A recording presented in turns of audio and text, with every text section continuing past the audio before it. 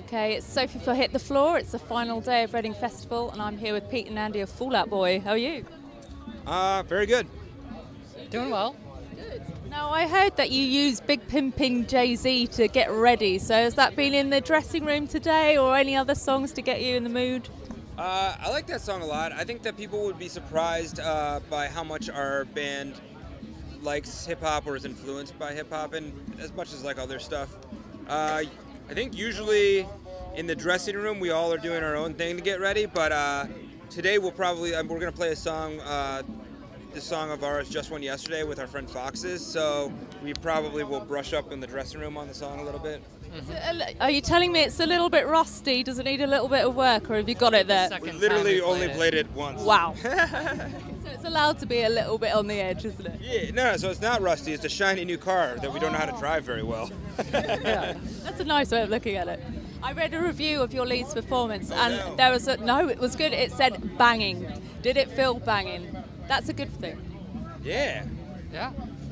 What did I it thought it say? was- Banging? It said it was a banging set, Oh, as in absolutely. awesome. I love was that. banging. That's awesome. Uh, it was it, wa- it was pretty crazy. Like it just we've been coming to Reading and Leeds for you know like since the beginning of our career. And when you first started as a, uh, an American band, you have like no idea what a fe- like Reading and Leeds is like as a festival. But then to take like four or five years off and come back, man, it was crazy to step on that stage. You know, it was just wild. Did you watch old videos? Because I think you've done the main stage three times before. Did you look back on YouTube and go, "Oh, I like what we did. That let's do that again," or did you just go fresh and? I looked back and uh, you know I was like, wow, it's like really good idea that you like didn't like dress real weird and like have a wild haircut in front of like seventy thousand people or whatever. That was that was smart of you, bro. Do you still get nerves before, or are you at the stage of your career where you're just like, you're just going to enjoy it, make the most of it, and that's it, and whatever happens, happens? Um, my nerves are like, uh, I think that every time it's going to be the one where the, the kids don't care. Like, you know, like, oh, this is the one where they don't. But then, like, when we step on the stage and when we, like, high five each other in that moment, like, I feel part of this larger thing that's, I guess, our band, you know, or whatever. And, I and then it just doesn't matter. Then it's just like, kill them all, let God sort them out. In a good way. yes, in the best possible way. Now, talking about your album, I guess it was important that it kind of was an accurate representation of where you would be naturally in 2013, but was respectful of your old material. But did you also think about how good it is going to be for festivals and playing live and enjoyment for you? Uh, we we we did a little bit. I mean, we think about how the the album, like how the songs will translate live, you know, and festivals are obviously uh, uh, a big part of that. But the interesting thing is like. Songs are like like any other kind of art. Like as it ages, like when you take it out to festivals and stuff, it, they start sounding a little different. Like in a good way, you know what I'm saying? They like, I was like watching. Uh, I we GoPro a bunch of the stuff, you know, and whatever. I was watching a video of Alone Together, and I was like, well, it just it sounds different, you know, like it's just a different experience. I think it would maybe be really cool, and I know like we're recording a little bit today, but like to record some of it because I just think it's a different album live. Just put out a live album or festival performances or something.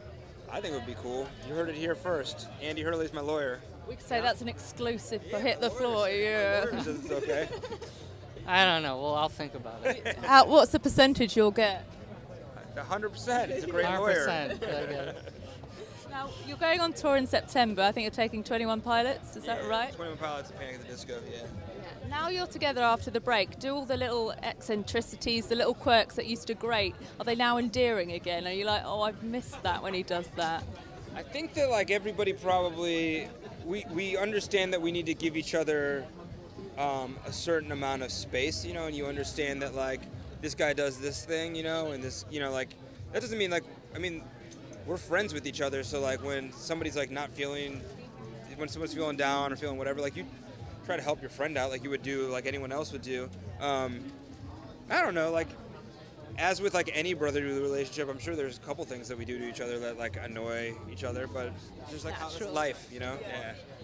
I think you've been quite brave throughout your career, and you're always, you're prepared for backlashes after successes and stuff like that. What's the next brave thing you're going to do with Fall Out Boy? Is there anything really out there, like a Fall Out Boy movie, perhaps, or something really shocking? We're doing 11 videos right now that are going to become one continuous story uh, that will hopefully I don't know what the I mean like we have a we have a basic idea of what the ending is going to be, but I hope people are not super sad about it. And then uh, uh, we have a documentary that we've been working on for a while, and we have like a bunch of stuff that like we could we kind of like get like a bunch of stuff going, and then we'll see where all of it ends up. The one thing I think is at some point we're going to end up back and we're going to make it to Antarctica and we're going to do that trip.